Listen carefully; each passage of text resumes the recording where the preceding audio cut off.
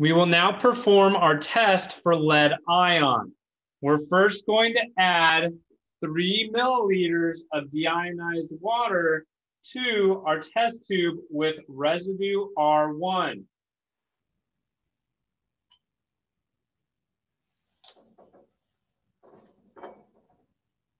And we will heat our mixture to near boiling in a hot water bath while stirring.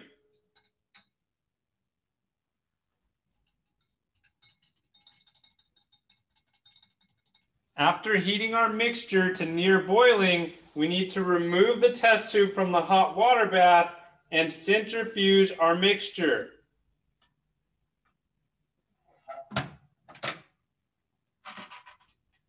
After centrifugation has completed, we'll remove our test tube and decant the solution, which we'll designate as S2, into a new test tube labeled S2.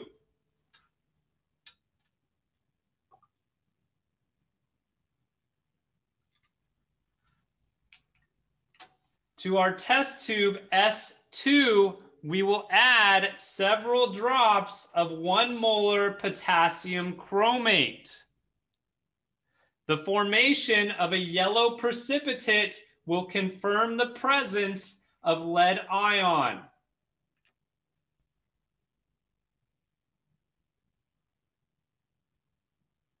This is a confirmation of the presence of lead ion.